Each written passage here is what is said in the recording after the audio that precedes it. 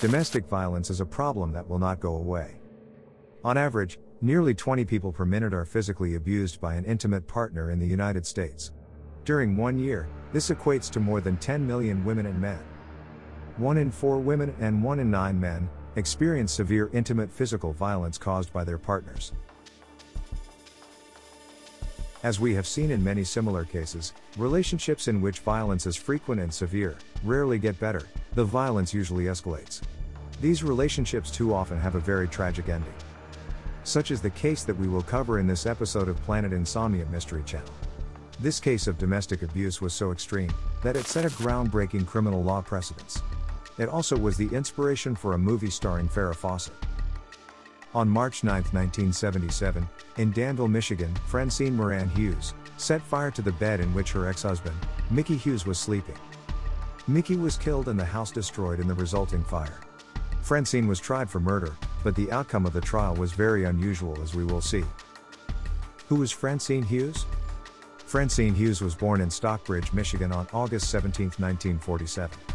Her father, a farm worker, was an abusive alcoholic. As a child, she saw firsthand what an abusive husband was like.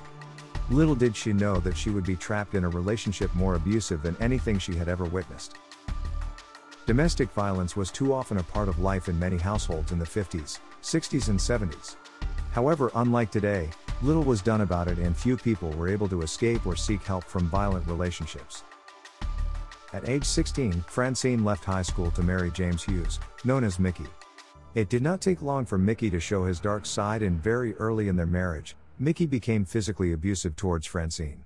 The couple had four children, and Francine was a very loving mother, who had dreams of becoming a nurse. Mickey was very possessive and controlling and would not let her leave the house to study.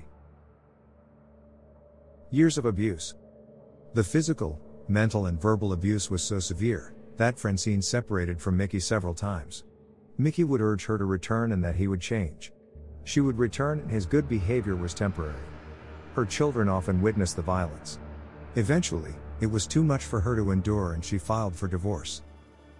Although she had moved out after their divorce was finalized in April 1971, Mickey had moved back in with her after he was involved in a serious car accident. Francine later testified in court that although she was reluctant to have him return to the home, she felt she could not refuse as she did not want to hurt him more than he already had been, referring to the severity of his injuries from the accident. The abuse persisted and escalated in the years after Mickey's recovery, and he regularly beat her and destroyed furniture. Francine felt that she could not remove Mickey from the home or move out herself, fearing that he would make good on his constant threats to kill her. Francine once said in an interview with People magazine, I learned that if I fought back, it only made him more angry. I thought, well, maybe I could kill myself. But then I thought, if I kill myself, who is going to take care of the kids? Nobody could love them like me. I would conjure up schemes about how I would sneak off to the airport with the kids and leave. But I would picture us sitting on a park bench with nowhere to go. Then I would get scared thinking about what he would do if he found me. The crime. On the afternoon of the fire, March 9, 1977, Francine returned from a secretarial course she was taking, and found Mickey in a drunken rage. He refused to allow her to make food for their four children, and berated her about quitting school, which she refused to agree to, even after Mickey forced her to burn her school books. He began to physically assault her. She called the police the first chance she got. The police came and spoke to the pair, but left after refusing to arrest Mickey as they had not witnessed the physical abuse. However, a police officer would later testify that Hughes had warned her that it was all over for her because she had called the police. Let's remember that this was the unfortunate reality during those times. Police did not take domestic abuse seriously. Later that evening, Francine again attempted to make dinner for herself and the children, but Mickey threw the food onto the floor. He forced Francine to the floor by bending her arm behind her back and made her clean the mess with her hands. When she was finished, he dumped out the trash can on the floor and forced her to clean it again. Finally, he forced her to agree to quit secretarial school. He then forced her to cook dinner for him and raped her afterwards. She suffered through this last assault until he finally fell into a drunken slumber. She decided to wait for her youngest child, Dana, to return home. When he did not return after some time, Francine decided to burn the house down to prevent her from returning to her life with Mickey again. She told the three children to put on their coats and wait in the car. She then poured gasoline around Mickey's bed and lit the gasoline. The resulting fire consumed the home. Francine then drove away and later arrived at the police station. With the children waiting in the car, Francine turned herself in and confessed to the crime. The trial. Francine was put on trial for murder in Lansing, Michigan. At the trial, Hughes was found not guilty by reason of temporary insanity in one of the first cases involving battered woman syndrome as a defense.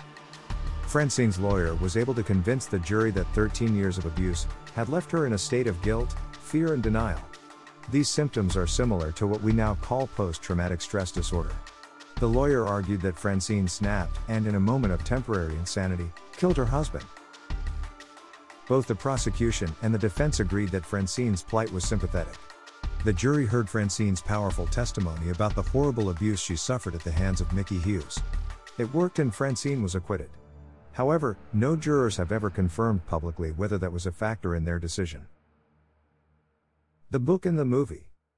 The Burning Bed is both a 1980 nonfiction book written by Faith McNulty about battered housewife Francine Hughes, and a 1984 TV movie adaptation written by Rose Leiman Goldemberg. The movie stars Farrah Fawcett, in what is considered her best acting performance. The plot follows Hughes' trial for the murder of her husband, James Berlin Mickey Hughes, following her setting fire to the bed he was sleeping in at their Dansville, Michigan home on March 9, 1977, and 13 years of physical domestic abuse at his hands.